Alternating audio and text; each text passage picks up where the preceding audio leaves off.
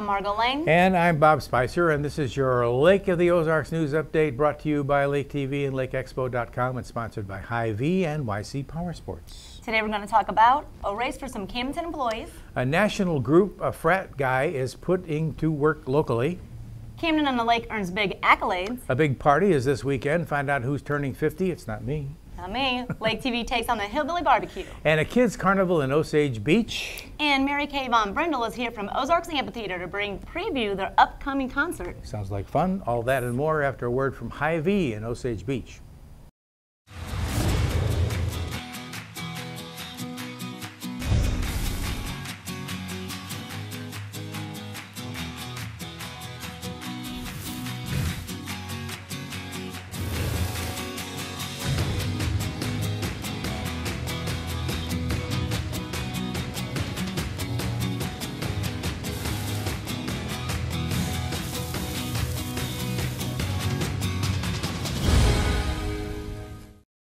Barbecue as an art form.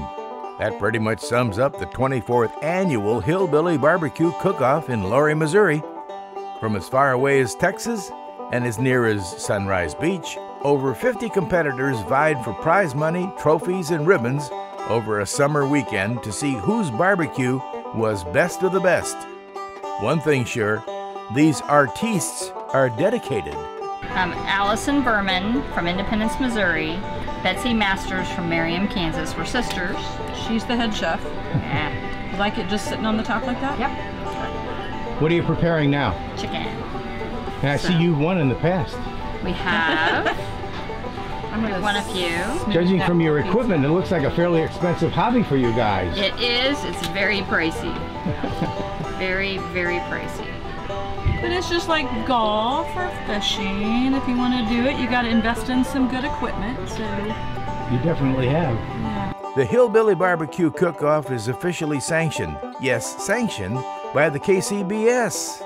What's that? Can you give me a little history about the uh, Kansas City Barbecue Society? The Kansas City Barbecue Society is about 35 years old. Uh, it started out in a field out in the middle of Kansas and a suburb of Kansas City, and uh, and uh, the Hake Farm, and and it was uh, it was started by eight, I think it was eight individuals that decided, hey, let's just have us a barbecue contest, and I, I'm certain there was no alcohol involved at all during that period of time, and and they they justifiably uh, was instrumental in creating America's cuisine, and that would be barbecue. Whether you're from Texas that think they have barbecue or Kansas City that started barbecue, matters not. It's all barbecue, and that's what we're here for—the education of barbecue.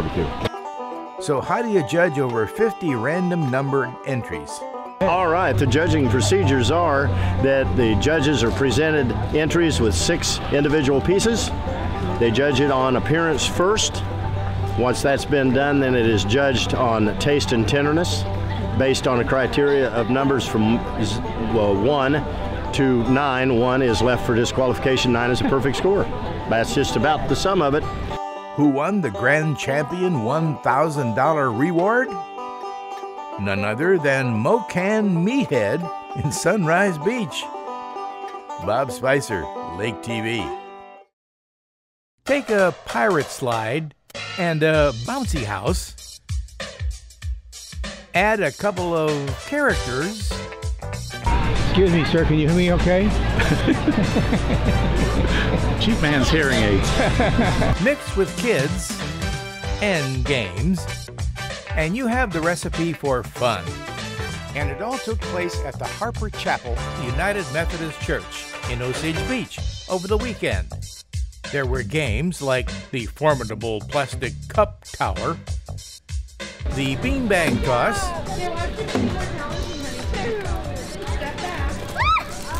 and whatever that game is. What's this carnival for? We're having a carnival for any kids that want to come. We have free school supplies. We've got face painting with clowns, fire truck, police car. Everyone's just having a good time on a bouncy house, and having fun. That's what it's all about. And you had some donations too, didn't you? We did. We had lots of donations of school supplies that we're just really excited to hand out to the kids, and the kids seem to be excited to go back to the school. So it's just been a fun afternoon. They're what? I know. I teach. I'm not that excited to go back to school. Bob Spicer, Lake TV. Friday night, Ted Nugent will be rocking the Ozarks Amphitheater in Camdenton. Doors open at 6 and the show starts at 8. Head East will be opening for, for Nugent. Between two groups, you can expect to hear a lot of soundtrack from movie Dazed and Confused, and no doubt Nugent's music may cause a little cat scratch fever. Tickets start at $25. The players at the Camden County Museum will be performing for the Dinner Theater Friday and Saturday night. The show is called Don't Tell Mother. Tickets just 15 bucks. Doors open at 5:30. Dinner starts at 6. Curtain goes up at 7. Seating is limited, so we highly recommend you call the museum ahead of time to reserve your seat. Saturday morning, you're invited to join Lake of the Ozarks Watershed Alliance at their kayak meetup. Never kayaked before? No worries. Experienced paddles will also be there to show you the ropes. It's a great way to enjoy the beauty of the lake. Meet some new folks and get a little exercise. You can join the free event by meeting everyone at Hahatonka Kayak Steps at 9 a.m. on Saturday morning. Saturday morning, you can also get out and support our fallen troops at the Lake Run or Walk for the Fallen. That starts at 9 a.m. in the morning at the Camdenton Middle School Theater. This is a free event. Donations will be accepted for Flags for Freedom. The event will honor all military men and women of Operation Iraqi Freedom and Operation Enduring Freedom and pay special tribute to each of Missouri's fallen soldiers. You'll also have a chance to meet Missouri Gold Star families whose loved ones paid the ultimate sacrifice. Need a little grease lightning in your life? On Saturday at 9.30 a.m., the Wehrenberg Theater in Lake Ozark is hosting a grease sing-along. All ages are welcome, and don't forget to wear your favorite grease costume to really get in the spirit. Tickets are at $10 for adults and $5 for kids, kindergarten through 12th grade. The Warriors against Melanoma Poker Run starts at 11 a.m. on Saturday. Players are dealt a card at each poker run stop, which includes Dog Days Bar and Grill, Naughty Fish Rum Bar, and a wrap-up party at Topsider Bar and Grill. That starts at 7 o'clock in the evening. Each hand is a $20 donation to support melanoma research and families of those battling late-stage melanoma. Join them for a great cause and a fun and safe day on the water, and of course, bring your sunscreen. It's August, and that means the shootout is coming. Sunday kicks off the event with a shoot-off golf tournament at Old Kinderhook. Registration fee is $120 a player and includes 18 holes and a lunch. All proceeds support lake area firefighters and lake area charities. Registration and lunch start at 12 p.m. and the shotgun starts at 1. That's just some of what's happening at the lake this weekend. Go to lakeexpo.com for a complete list of events. And coming up, Lake Ozark's 50th anniversary party, fall gardening tips, and Mary Kay Van Brindle joins William Holtz in studio to preview their upcoming concert this weekend. All that and more after word from YC Power Sports. On the road, on the trail, or on the water, if you're looking for heart pounding performance and fun, head for YC Power Sports in Osage Beach. The biggest and best brand names in the field, along with incredible selection and unrivaled service. Make this year at the lake the best it can be with a visit to our showroom in Osage Beach and coming soon, our new relocated showroom in Columbia. Take a look at YCPowersports.com too. Summer fun is just waiting for you at YC Power Sports in Osage Beach and Columbia. Welcome back. I'm William Holtz with Lake TV. You're watching the Lake News Update, and I am now joined by Mary Kay Von Brendel, and she's the Director of Operations at the Ozarks Amphitheater. Mary Kay, welcome. Thank you very much, Will, for having me. My pleasure, and we had a very exciting weekend together. Uh, for those of you that don't know, Parmalee played at the amphitheater this last Saturday, and uh, what'd you think? I thought the concert from start to finish was fabulous. The entertainment that we had was fantastic. It was awesome. We're going to show you guys here in just a second just how great it was. But as you're probably wondering, and I started to wonder, what is this chicken doing on our news desk? This chicken actually is going to be the trophy that is going to be awarded to the restaurant in the lake area that makes the best chicken noodle soup. And that is our Yankee Doodle Chicken Noodle Contest. Correct. And you're going to get this prize if your restaurant wins, but even better than that, your soup is going to be served to someone. Who would that be? That would be Ted Nugent, because as Ted Nugent has a tradition that he loves to enjoy homemade chicken noodle soup after every concert. So what we're doing is we're going to have a Facebook-driven contest. Whichever restaurant by Wednesday has the most votes, the top five restaurants a panel of esteemed judges, which I think you will be traveling with them, I will be. Are going to go from restaurant to restaurant sampling chicken noodle soup. And Thursday, we're going to announce the winner. They get this fabulous trophy, and we will be serving their chicken noodle soup to Ted Nugent after the concert. Okay, so a little more details on how it works. Right now, as you're watching this, you can go to the Ozarks Amphitheater Facebook page, and there's a post. It starts with a chicken. You'll see the picture. It's Yankee Doodle Chicken Noodle Contest, and you have to comment on that post which place has the best chicken noodle soup. We're going to compile the votes, see who gets the top five, and those are the ones that make the finals. That's correct. We'll be driving to their restaurants on Thursday. Thursday, On Wednesday, on Wednesday, so it's coming up. And uh, if if you by chance win, for one more time, your soup gets served to Ted Nugent after the concert Friday That's night. correct. And you get this fabulous trophy. And so the Yankee Doodle Chicken Noodle Cook-Off is so exciting, but we're also excited because Ted Nugent's coming to Lake of the Ozarks. Talk about the concert a little bit. Ted Nugent is going to be taking the stage this Friday at the Ozarks Amphitheater. Um, the opener for this one, we're also doubly excited, is going to be Head East. So it's a marvelous pairing of two artists or two groups. And it's awesome because Head East local, they're from They're from St. Louis area.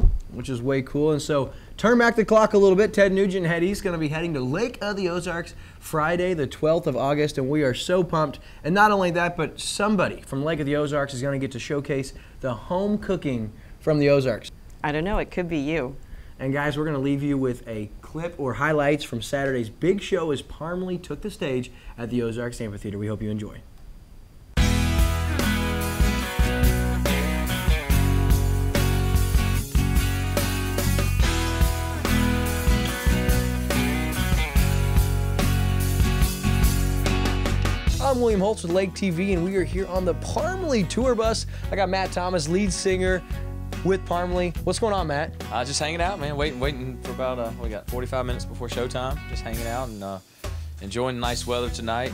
Crowd's getting good, so yeah, we're, we're pumped up, excited, man. What a, what a venue and getting to be outdoors. You guys are just loving this, aren't you? Oh, it's great. It's been a beautiful day, perfect weather today. Can't wait to take the stage here in just a little bit.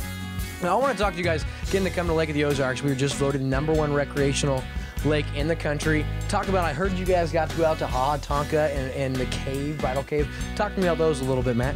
Oh well, these guys went to uh, the cave first. I went fishing down in the cove, so uh, I, I was I caught a couple fish, which was great. Um, and then uh, we went to Ha Tonka and got to see the castle, and, and um, it's just really cool to, to be able. We, we get to travel the country, and when we come places like this, it's really cool to get to take it all in, and, and it's good that we have a little time during the day to, to check out what, what's going on locally.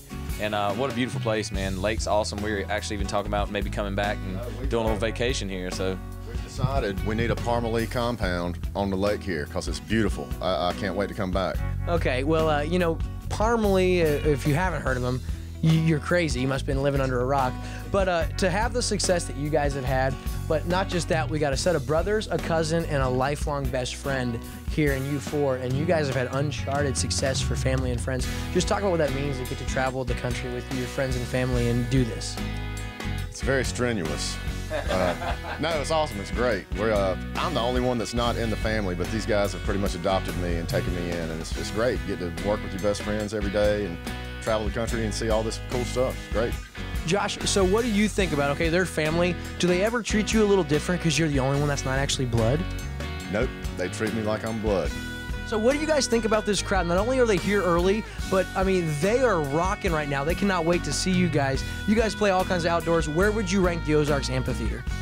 Oh, well, I mean, it's probably about the biggest place we headline, yeah. to be honest with you. Uh, so that's exciting. for number us. one. Yeah, number one. Number one. You guys heard it right here. Parmalee, the number one outdoor venue they've played at, the Ozarks Amphitheater. That's wonderful, guys. Uh, I know your guys' time is very valuable. You got tons of stuff to do. Uh, we're going to hang out a little bit off camera, but we're going to cut this. Thank you guys so much. And uh, I just can't tell you how excited the lake is to have a band of your guys' caliber, not just here, but treating us like uh, awesome people. And we just thank you guys for that. Thank y'all for having us, man. Glad to be here. That's Parmalee at the Ozarks Amphitheater. I'm William Holtz of Lake TV, and we thank you for watching. Thanks for that interview, uh, Will. And by the way, it's uh, Ted Nugent coming up this Friday night. I was at the amphitheater over the weekend for the Parmalee concert. Great, great time. Great, great venue. Great, great amphitheater. Anyway, most of Camdenton's employees will enjoy a pay increase of about 25 cents an hour next fiscal year. Thanks to the Board of Aldermen, the increase is for everybody except jobs affected by the Fair Labor Standards Act, changes in job responsibilities and or duties requiring after-hours meetings. Some of the positions that are not going to see that raise are community service officers, building directors and the city clerk. The Camdenton Alderman also agreed to a public information period to consider raising the city's benefit to employees from one and a quarter percent to one and a half percent. City administrators thought the additional cost of the city could be about 62,000 bucks. The public has until the middle of December, or rather September, to address any concerns with the board. Frat guys got their hands dirty building a nature trail for Wonderland Camp, a local camp for people with disabilities. The men from Pi Kappa Phi worked on a new nature trail during the day and spent time with campers in the evening. The group is a part of a Build America team, which travels the county serving camps and campers with disabilities. Each group of fraternity boys had to raise at least $4,000 in order to participate in the program. The Wonderland Camp executive director said the group worked very hard during the day and brought great energy to the evening programs with the campers. The Lake Regional Hospital Auxiliary is preparing to host the 40th annual ball on October 1st at the Lodge of Four Seasons in Lake Ozark. During the last 39 years, the event raised nearly $2 million for Lake Regional Health System, helping fund departments like the Cancer Center, Cardiac Catheterization Lab, Emergency Department, Family Birth Center, along with many more. The entire community is welcome to the ball. It starts at 6 p.m. with a cocktail hour. Evening promises great live music with an eight-piece band, a gourmet meal, and dancing. Proceeds from this year's benefit ball will go to Lake Regional Family Birth Center to buy new electronic fetal heart rate monitors. The guests have spoken, and Camden on the Lake Resort has once again earned their TripAdvisor Certificate of Excellence. This is the resort's fifth TripAdvisor Certificate of Excellence in a row. The award is only given to hospitality businesses that consistently get high quality reviews from customers. One visitor even called the resort heaven. Lodging One Hospitality began managing the resort last year and we're pleased they continue to offer a premier resort experience. Camden on the Lake offers guests casual dining, retail shops, a fitness center, a full service Aveda salon and spa, a multimedia theater, marina and boat charters, hot tubs, and an outdoor swimming pool with swim up bar. Note, the intersection of Armory Drive and Nichols Road to Highway 54 and the Armory Drive entrance will be closed for several weeks for improvements. As an alternative route, you can use State Road KK or Case Road exits to access Osage Beach Parkway. To get to industrial park businesses, use Industrial Drive from Osage Beach Parkway, Nichols Road toward Osage Beach Elementary, and Dude Ranch Road, off of which I live, will stay open, thank goodness, and will be accessible from Highway 54. This year honors Lake Ozark's 50th anniversary. The celebration will begin with a special Hot Summer Nights on the Bagnell Dam Strip this Friday. 50 years of cruising the strip will feature music from the 60s and, of course, vintage cars. Business owners are also temporarily bringing back the prices from the 60s. Then on Saturday morning at 9 a.m., the mayor is hosting a reception at City Hall. A time capsule will be buried to be unearthed in 2066. Everyone is invited to take a look at it, sign the guest book, enjoy cake and coffee with the community. After the ceremony, the strip will offer a day of events, including live music, a bounce house, and dunk tank and fireworks show at dusk. Does your garden need a bit of a refresh? Well, our resident green thumb, Sarah Tezek, has some tips for fall planting. Uh, the lake area's uh, long, mild autumn.